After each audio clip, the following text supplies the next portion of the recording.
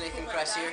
Uh, back to school tips. While there are many that we could talk about, um, I think one of the most important ones, it's, it doesn't necessarily regard academics, but I think it's critical to come back to school with really great self-confidence.